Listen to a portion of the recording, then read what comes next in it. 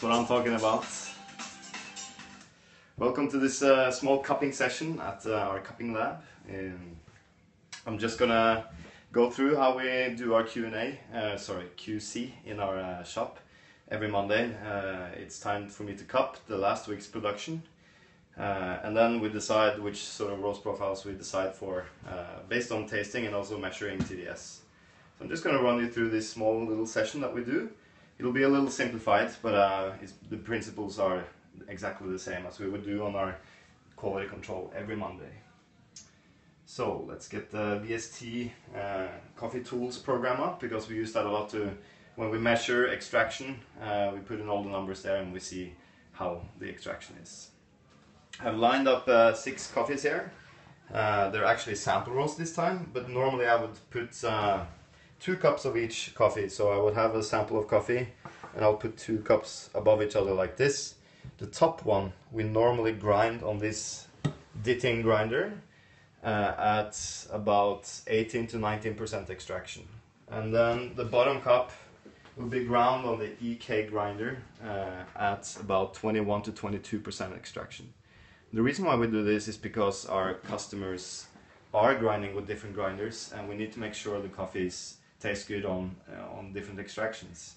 I find actually personally that it's a little bit easier to taste underdeveloped uh, underdeveloped coffees on the Ditting grinder um, because it will then for sure lack the sweetness that the EK grinder is very easily providing you. So with a higher extraction, the coffee just feels very thick and concentrated, and it's a little bit more difficult to assess whether it's sweet or not. So uh, I just find it tastes a lot more grassy, for instance, if you grind with a lower extraction on the Ditting grinder.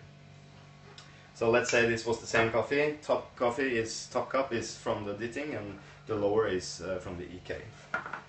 Um, we put these cups. They can take up to 200 mils of water. That means about 200 grams of water. But when you put coffee inside, of course, there's room for a little bit less water. So the ratios, I'll write it down so you can actually see it. It's a little bit easier. We use 11 grams of coffee to 180 grams of water. That equals to about 6 grams per 100 grams of water. More or less. It's not 100% 6 grams, but uh, more or less. Now these are sort of the standards that are widely accepted around the world. So if you look at the SCAA standards, the SCAE standards, the cup excellence cupping standards, they're more or less using 5.5 grams to 6.5 grams per 100 grams of water. Uh, the reason why I'm using 6 grams is because it's it makes it a little bit less strong, so it's easier to pick up any notes of uh, roast flavor or or um, underdeveloped flavor. If, if the beverage is too strong, I tend to find that it's a little bit more difficult to, to assess the details in, uh, in terms of roasting. So this is how we actually QC uh, all our roasts. And we do it every Monday because um, we roast Tuesday, Wednesday and Thursday. And we wait until the following Monday before we taste any other coffees. And that's because I personally find them to taste a lot more smoky and sort of like freshly baked bread when they're too fresh. So once they've been standing around the samples, we, we have them in uh, airtight boxes like uh, like this. We just put uh, 11 grams in here, and uh, we're gonna cup that uh, later on today. Um, so we let them rest for uh, four, five days before we taste them. That's the minimum, and that's personally I find them just to open up more, and it's easier to taste whether it's a darker roast or it's easier to separate it from being too dark than being too fresh for instance because they that will taste very similar. It just tastes smoke, smoky and roasty. Alright so the, the ratio is here. I'm gonna turn on my water boiler. I'm using the um, the Uber boiler to when I cup because it's very accurate in, in water temperature. So I'm gonna boost it actually to 98 degrees. The reason why it's 98 degrees is because you lose a lot of temperature once you get the water into the cup. So I just try to get it as hot as possible. We can't do 100 degrees on it because then you create too much air and you won't get any water out. So I'm boosting this, that means the whole tower is getting heated to 98 degrees, so the water that comes out, it's all 98 degrees. Then I'm gonna start the grinding. And on this EK grinder, uh, with this dial that I bought from Colin Harmon, we're grinding on 14, but I'm going to show you how to measure the extraction so you can dial in your own grinder, because they're all slightly different depending on how you calibrated the grinder. So, make sure it's clean. I normally put some piece of paper in there just to clean it, but watch your fingers. Just to get all the grounds out. And then you can start the grinder Let's see if we have an extra cup.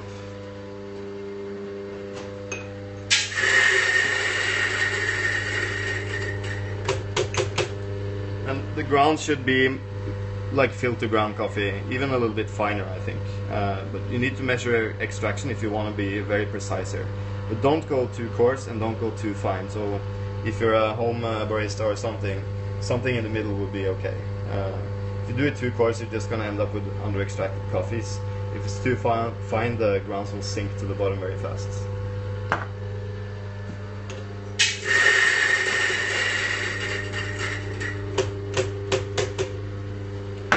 Alright.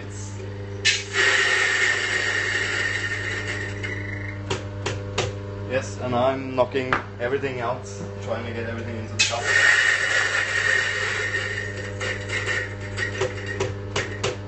Some coffees will have a lot of chaff, so then you try to avoid to get the chaff into the cup. But, uh, you'll just get a, a cleaner taste if you take it out.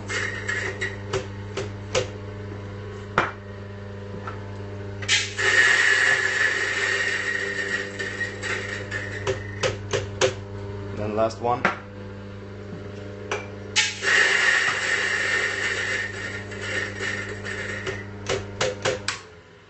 All right. So I actually, personally, my weakest point, uh, weakest uh, ability when I cup coffees is to smell. So I find it really hard to to separate the small details in smell. Of course, it's a, if you're cupping a geisha coffee next to a, a Brazilian uh, Bourbon, they will smell very, very different. But uh, these are all coffees from the same farm, and they will have more or less the same aromatics. So I'm not paying too much attention to that just smelling, just to see if I can detect any ferment or if it's over roasted or under roasted. You can easily smell that, and then you can take a note. But for our QC, you know, it's all our coffees in production, and we don't really pay too much attention to smell because the coffee is already bought. We're just trying to get it to taste as sweet and uh, intense as possible when we roast it. So, oh, that smells good. So what I'm cupping today is actually a geisha from Marisabel and Moises uh, Caballero. They're coming here this week uh, and I want to taste their coffees with them. Uh, so I, I, did some sample rolls so they're able to, to taste how their coffees taste like here in Norway because we already cupped it in Honduras and uh, it always tastes a little bit different when we roast it here and with our water and so on. Alright, so I've got this scale, which is great. It's an OHAUS scale, which you can tare just by doing this. So if I put this on, I can just swipe my hand over and it'll tare. And the reason why I'm using this and not the scale on the Uber is because I'm going to measure extraction and this is a little bit more accurate and it's also a lot faster. So I normally put this underneath the Uber boiler and I have a little platform here, it's just a box so that the cup gets closer to the spout so you don't lose too much uh, water temperature. Now the first cup tends to be slightly lower in temperature than the second, and that's because you need to heat the end here uh, as well before you get the correct temperature. So we always take one cup out, uh, just fill it up, and this will be heated immediately. And that water is for our spoons to rinse if you want to do that. Uh, a lot of people like to have a rinsing cup. Now I'm going to put uh, a cup with the coffee on the scale I'm going to tare the scale and then I'm going to start pouring and start a timer. So we're going to wait, you know, between 3 and 5 minutes. It doesn't really matter if it's 3 minutes 40 or uh, 3 minutes 50 seconds or who decided on the 4 minutes anyway, you know. Uh, the extraction is not that different, but you need to try to uh, treat all the cups at the same time. So when we're going to break the crust, we're going to try to time it. So I'm going to start a timer now and then pour the water on and just make sure all the coffee gets wet. And I need about 180 grams.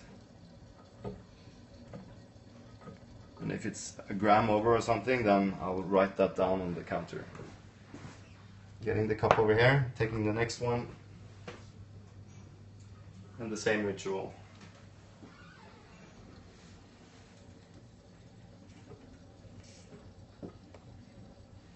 So that was a little bit over, so write 1.5 grams over, more or less.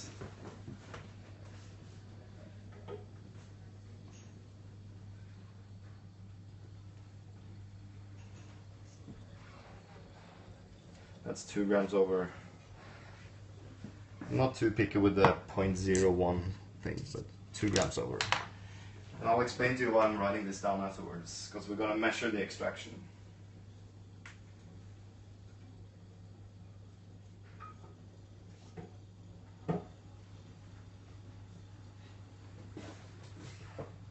That was 180, spot on.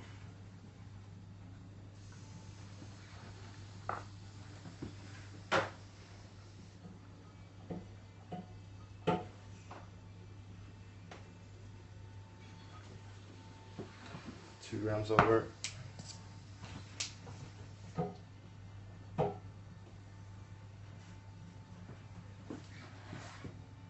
Again, two grams over, and then the last one.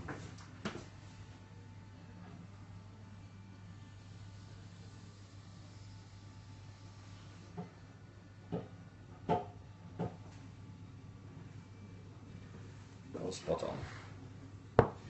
Alright. Now, the water is now extracting the coffee, of course, and you'll get a lot of nice aromas. Of course, you can't smell it, but I can smell it. So, a lot of people like to smell the crust because you get a lot of these uh, kind of intense aromas uh, once the water hits the coffee. For me, it's uh, a thing that I don't pay too much attention to. It just can tell me whether it's, you know, something very interesting there, or if there is, for instance, a defect like a fermented cup or something. You quite easily can pick it up while you smell. So just stick your nose in. Try not to touch the cups because then the crust will break down and it will sort of stop the extraction a little bit.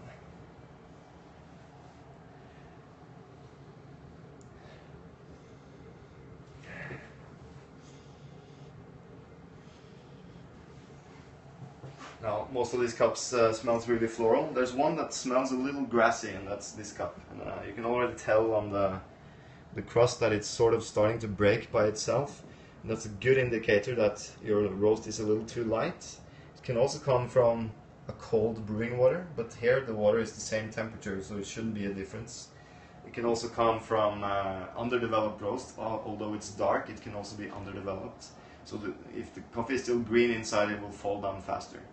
Um, if you get a very thick crust which, with a lot of gas bubbles, it just means you're roasting a little bit darker than I am. Uh, because the darker you roast, the more gas you sort of uh, create during the roast process inside the beans, and that gas will sort of hold the, the particles up in the in the water surface and creates a lot of bubbles and so on. So it's kind of like a crema on an espresso. So it's been uh, 3 minutes 50 seconds now, and I'm gonna start breaking. And I do that by stirring. So I'll, I'll stir three times in the surface of the cup while I'm smelling. Some people like to stir from top to bottom. So you'll take the spoon here and stir all the way to the bottom three times. The standard in Cup of Excellence and SCA is to just do it in the surface. The important thing here is that you stir, try to stir the exact same way on all the cups and the um, same amount of time. So if I stir five times in this cup and three times in that cup, the extraction will be very different, especially if you stir from top to, to bottom. So if you want to stir from top to bottom, you also need to grind a little bit coarser because you tend to extract more the more you stir.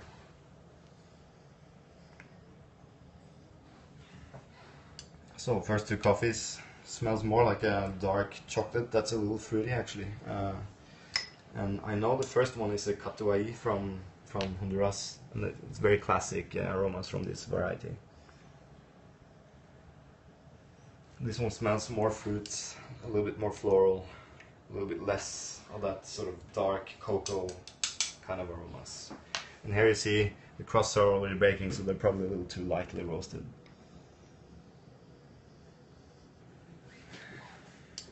Still smells very floral and citric.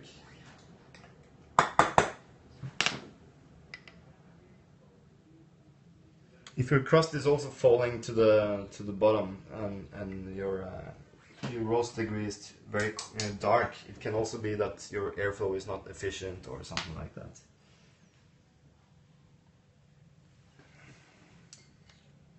It still smells great though, I have to say.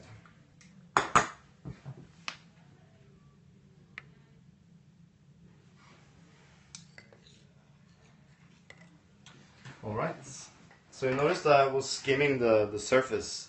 That's because you get this kind of uh, foam on top after you stir. And that foam, it's kind of like the crema. It sort of has a little bit of particles in it and it tastes a little bitter. So we try just to take that away before we start cupping. Uh, because we're going to taste with the spoon, so we're going to take some liquid from the top of the cup and then slurp it into our mouths. And if you get a lot of uh, sort of coffee particles in your mouth, the mouthfeel feels you know very gritty and it's not very pleasant. So that's why we remove that. So it's just it's just like skimming. If you look at this cup, it's just like skimming uh, when you're making stock. You just sort of take two spoons and you, you push the foam backwards and take it out with one spoon. That's a very efficient way of doing it. Some people use one spoon, some people use uh, two spoons. It doesn't really matter. Now they're extremely hot, and I, have noticed that a lot of Asian cuppers are able to start cupping straight away. I'm personally not able to do that. I'll just burn my tongue. Uh, so I like to wait a little bit. But I normally cup or taste the coffees when it's quite hot. I tend to find that it's easy to taste if it's underdeveloped when it's very hot. And then once it cools, you'll get more sweetness and all the aromatics out. Um, so I'll normally cup it when it's very hot, when it's sort of hot and then when it's lukewarm and then as it cools off. Uh, but I'm rarely cupping when it's very cold. I mean, then then it just normally tastes very malty and, and uh, strange. But a good coffee will taste better and better as it cools. A bad coffee will taste worse and worse. Uh, and that's because you're just able to taste more. Uh, the liquid is closer to your body temperature, so you're able to taste more of what's in there. So if it's bad coffee, you'll taste more of the bad stuff if it's a good coffee, it'll taste more of the good stuff. So it makes sense. Alright, we're going to measure the extraction on some of these cups. So what I do then is to take a small cup. Let's take the first one. And then let's take number four because that was where the crust was falling down very fast. And you know, if this were all the same coffees, it can give me an indicator whether I'm baking the coffee or whether it's uh, too lightly roasted or something. Uh, I've read a lot on blogs and also Twitter and stuff that you're trying to aim for the highest solubility, but I find that sometimes not to be the case. Uh, I was just measuring one of our coffees uh, this morning actually, and we did some tests last week, uh, and the the coffee with the highest solubility, that means I was able to get the highest TDS, total dissolved solids, into the cup by doing this method uh, on that particular coffee that particular coffee tasted awfully underdeveloped. So it was just grassy and malty and tasted under roasted. Whereas some of the other coffees that were really aromatic and tasted floral and fruity and sweet, they had a lower solubility. So don't believe everything you read in coffee. If, if someone says, tells you, you know, everything is like this, then always question it because it's not necessarily written in stone. Uh, you know, you have to also go by taste, not just by measuring. However, if you have one coffee and let's say I'll measure one cup that is the TDS is uh, 1.4 uh, and with the same grind and same type of extraction it will read TDS 1 then it's a good indicator that you're doing something wrong in, in the roast process.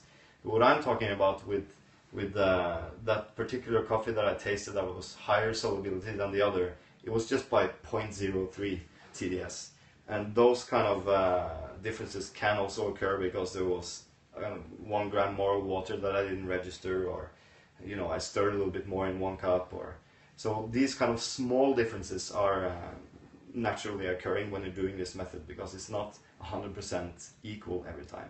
What I'm talking about is the huge differences. That's when you can say, okay, this coffee is totally baked because the TDS is one, and the other one is uh, very good development because the TDS is 1.3. And when you taste it, you normally get that confirmed that the baked one will taste very hollow, lacking sweetness, uh, taste bitter and flat, whereas the one with the high TDS will taste sweet and uh, have a nice sort of oily texture and so on. So what I do now is I use these syringes and I'm going to take 10 mils from one cup and it's important that you try to do it the same way on all the cups because if you put this in the bottom you're going to take a lot of grounds out and that, that means you're extracting more of those grounds. So just do a very slowly draw from the top of the cup and then I put it into another cup. This is to cool down the liquid and also to homogenize the, the liquid, the sample that I took. I'm going to do that on the other one. 10 mils and then put it into the cooling cup. Now these cups are always cold. Then I'm going to take two new cups because you want to make sure that the temperature of the liquid that you put on the refractometer is not too hot. That will alter the, the measuring because the, the lens will be affected by the temperature. So what I do now is I take 3 mils, so that means up to the number 3 on this syringe. So I draw a sample from the sample, 3 mils. I'll put on the syringe filter and just squeeze out the sample into another clean cup.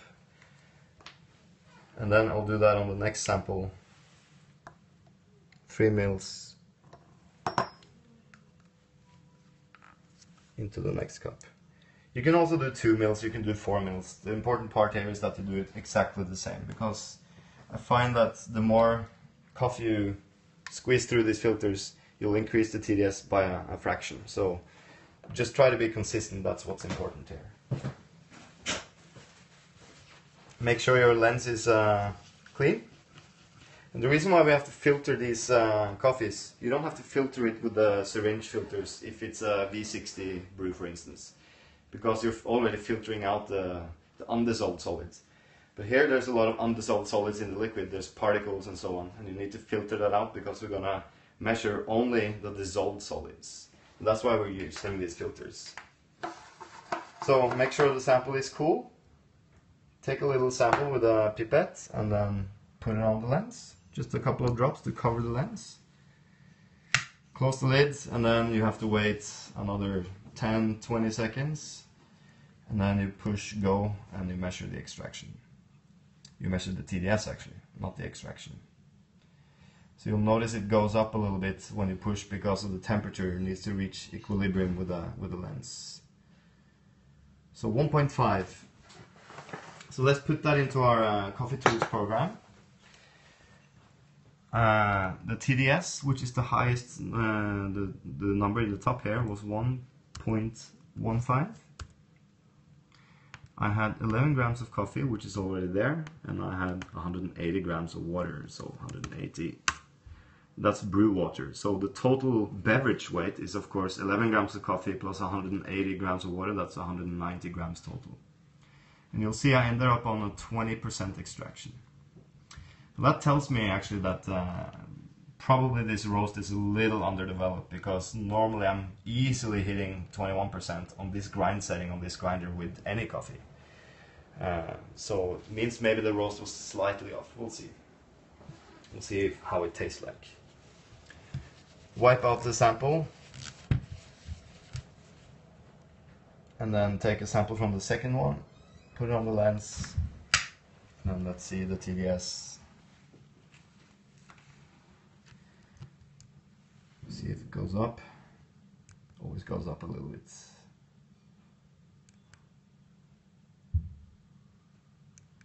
It's exactly the same, but we had, oh, we had the same amount of water as well. So that means the extraction is exactly the same.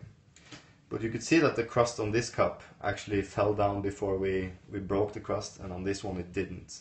So uh, it sort of yeah, the TDS was exactly the same, but this tells me that this is probably a little too lightly roasted or underdeveloped. And this is uh, probably okay because the crust was, you know, fine until I broke it. So let's take a spoon. And, you know, I'm not a. If you want to use a rinse cup, make sure the water there is super super hot because you want to kill all the germs. I normally don't use it because it's just a hassle and uh, uh, normally I cup alone so I don't have to rinse. So a little bit of water never hurts. You tend to get, uh, you know, loaded with coffee when you do this all day. So water is good to neutralize a little bit. So what I do now to, to taste the coffee is just take a little bit into a spoon and then slurp it like it's a very hot soup.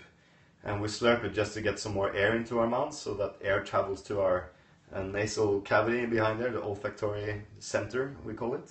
And that's where all the aromas are detected. Um, so the aromas just travel easier because they're volatile. So if you, you draw an air into your mouth, they travel easier up to your nose.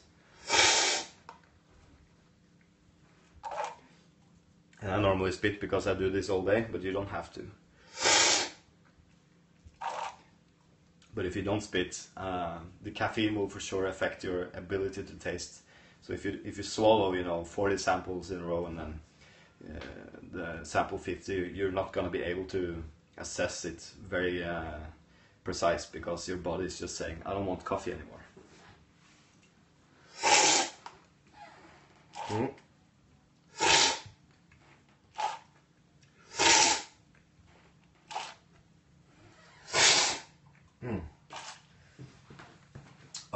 Very nice coffee. Um, definitely this this number six. It tastes actually quite dark. It's it's very very sweet actually. So I'm surprised the TDS is this low because it has a lot of sweetness and, and also body. Uh, low acidity, very sort of uh, creamy. It, it, feels like uh, eating a dark chocolate that is very smooth. So not very bitter, but um, it has that sort of punch from uh, from a lot of cocoa. And that's the that's the Catuai from uh, Honduras, from Marcala, from the producers Marisabel Caballero and Moises Herrera. Mm. The second one is just super fruity. It's more like a, um, uh, I would say a rose hip and almost kind of a strawberry taste of it. It's not a natural processed coffee. It's a washed coffee. It's actually with a uh, mechanical demucilage remover. So, um, but it's the variety Java uh, from their farm, and it, it, has been cupping really fruity all the time. It's almost like a, a cherry candy or something like that. Very, very nice. Yeah, could even taste like a Burundi or a Kenyan coffee. So the third coffee. Mm very easy to pick out. It's a geisha. It's very jasmine, lemon, tangerine, like super sweet. Uh, tastes like a, a ripe papaya, I would say, with, with an extra little bit of citric citric uh, acidity and, and, and jasmine. And the number four still has that sort of floral aroma, but also tastes less sweet, very sour and a little grassy. And that tells me this is underdeveloped, this is not roasted enough, because it's exactly the same coffee as the previous one. So the, the this one will taste a lot, it tastes sweeter, it has good intensity of the acidity, but it's more structured, uh, it just feels richer and fuller, whereas this uh, is very under extracted uh, in flavor. It means um, it's sour, it's lacking sweetness, uh, and so on. But the extraction was the same as here, so this is because of the roast. I'll measure this cup just for fun to see how it uh, actually turns out. Because that's a good uh, example of the same coffee roasted two different ways. Um, and we'll see how it measures in TDS. So again, 10 mils. Let's get two cups. Sample in one cup take it out again, 3 mils on the syringe filter, squeeze it out. And if you don't want to throw this away, you can use them as a small toys for the kids. Let's clean the lens and then see what the TDS becomes. Hey Mats, I'm over here. So let's see. It's actually reading out a little bit lower.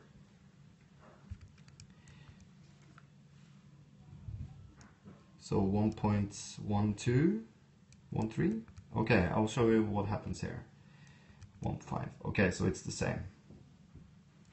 It's 14, 15, somewhere there. Yeah, 1.15. So the TDS is the same, but there was 2 grams more of water in the cup. So, let's see, 182 grams.